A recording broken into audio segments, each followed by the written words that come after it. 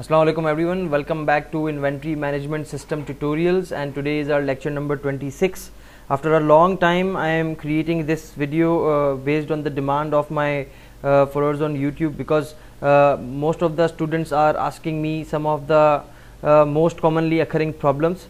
So that's why I have decided to create this tutorial and I wanted to display one of the most common uh, problem that is uh, arising to most of the students that are uh, following this inventory management system.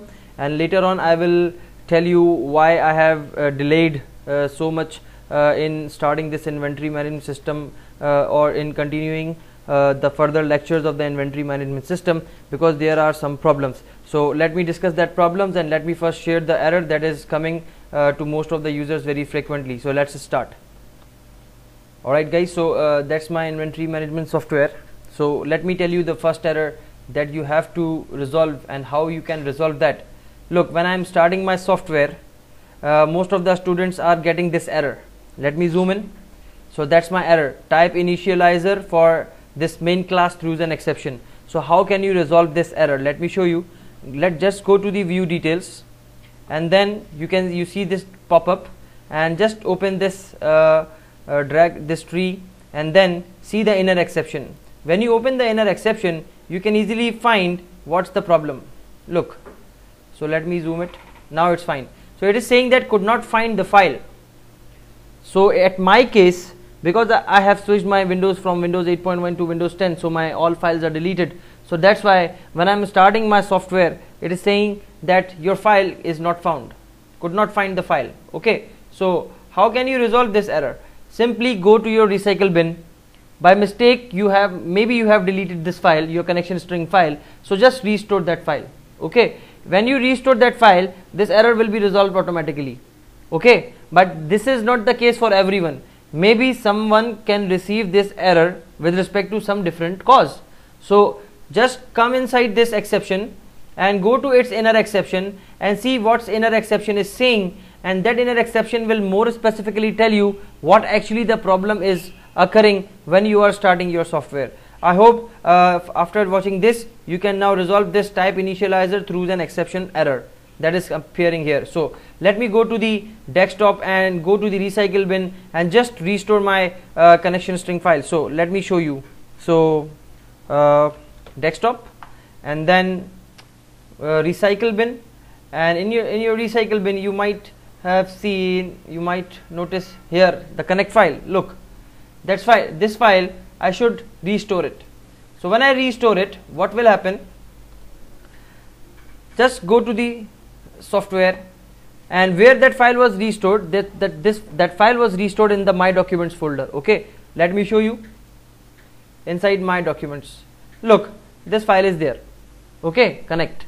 And inside this connect file I have my connection string. So let's start the software now and see what will happen. Look the software is now working as per as per normal. Okay? And when I click login so database is also connected and all that. So that's my inventory management system. So uh, that was the one error that I wanted to discuss today. And now uh, let me tell you one more thing. Why I was not creating further lectures of inventory management system? Uh, the reason was that the at this point uh, up till now that we have created the inventory management system is good for small purposes okay? But there are two main problems uh, that I have detected inside this inventory management system. So uh, it can be run on small level but at huge level or at, at, at a very large level you have some you will face some problems that I'm going to discuss now. So the first problem that you will face is the expiry date. So let's say uh, here inside inventory management system when you are adding the product you are specifying the expiry. Okay? So uh, why you have added this product? Uh, because so that you, your product will not repeat again and again in future. Let's say you have added uh, dairy milk chocolate inside your products list and the expiry of the dairy milk you have added to one month from today. Okay. So after that uh, you have purchased the dairy milk let's say 500 dairy milks you have purchased. Okay. And then when you have purchased 500 dairy milks and you have sold out 400 dairy milks and now you have left with only 100 dairy milks. Okay so when you have left with only 100 dairy milks and the time span has passed already 20 days, now the expiry of that 10, 100 dairy milks uh, is only only 10 days. Uh, you have the one month expiry let's say. So 20 days are passed 400 dairy milks are sold out 100 remaining and then 10 days of expiry is also remaining. So when the product is about to finish what is what we do? We purchase new inventory. So when we purchase new inventory the new dairy milk will come into the context. And when the new dairy milk will come into the context the expiry date of that new dairy milk should be updated. So when you update the expiry date here of that existing dairy milk what will happen? The previous 100 dairy milks expiry date will also update. And that's a genuine problem. That should not update. That should not update. The the previous the old dairy milk chocolates uh, should have the 10 days expiry remaining and the new dairy milks that you have added should have the one month expiry remaining.